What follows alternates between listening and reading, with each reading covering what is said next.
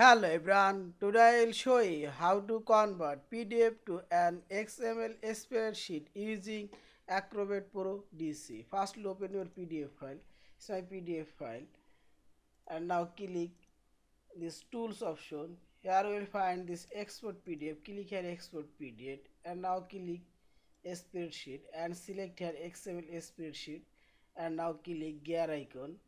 Here we will create create single worksheet for the document and create worksheet for each table and create worksheet for each page I'll convert create worksheet for each page now click OK and finally click export and choose file save destination page option then